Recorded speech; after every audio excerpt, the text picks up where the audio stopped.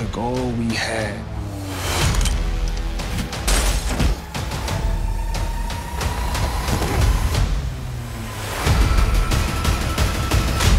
Somebody gonna have to pay.